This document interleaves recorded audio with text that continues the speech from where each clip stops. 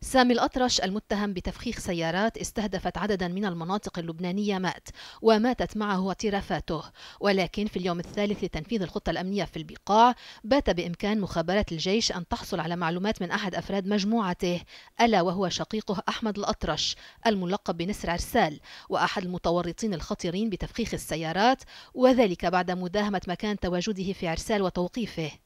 أما علي خضر جعفر المعروف بعلي الشعار وهو أحد أخطر المطلوبين فأوقف وتحديدا في حي الشراوينة حيث تمكنت قوة من الجيش من توقيف الشعار هو الذي ارتبط اسمه بالكثير من عمليات الخطف مقابل فدية مالية والصادرة بحقه مذكرات توقيف عدة. الشعار كان شارك في اعتداءين استهدفا دوريات لقوى الأمن الداخلي في بعلبك استشهد بنتيجتهما عدد من العسكريين.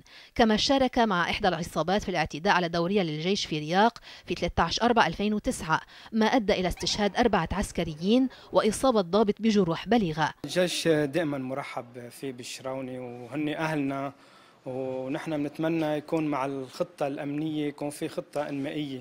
نحن بنرحب بالخطة الأمنية والجيش أصلا موجود عندنا نحن. من 98 موجود هون بالمنطقة وبالحي عندنا من سنوات موجود له مركزين. في تنفيذه للأجراءات الأمنية في البقاع يبدو الجيش والقوى الأمنية عازمة على وضع حد لشتى أنواع المخالفات وبسط يدها. وقد تمكنت فصيلة عرسال في وحدة الدرك الإقليمي من ضبط تسع سيارات ست منها مسروقة وثلاث دون قيود. كما أوقف الجيش سوريان الاشتباه بانتمائه إلى جماعات إرهابية. وطالت حملات التوقيف أشخاصا أقدموا على قطع طرقات والتعرض للعابرين.